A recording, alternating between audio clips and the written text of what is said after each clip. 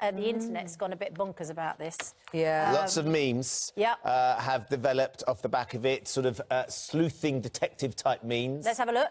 This is some of our favourites. uh, this is uh, the Scooby Doo meme. She would have got away with it if it wasn't for this pesky Coleen Rooney. uh, this brilliant one is uh, Line of Duty. Oh, yes.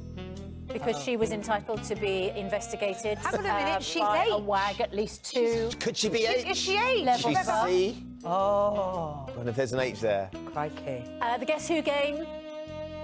There we go. Coleen Rooney uh, has guessed who. Uh, so, And then in the in the in the, in the tune of, of what is currently making news in football, uh, they sent it to VAR to get the decision. that's a bit of a sore point with us. Isn't it is. Oh, dear. It really is.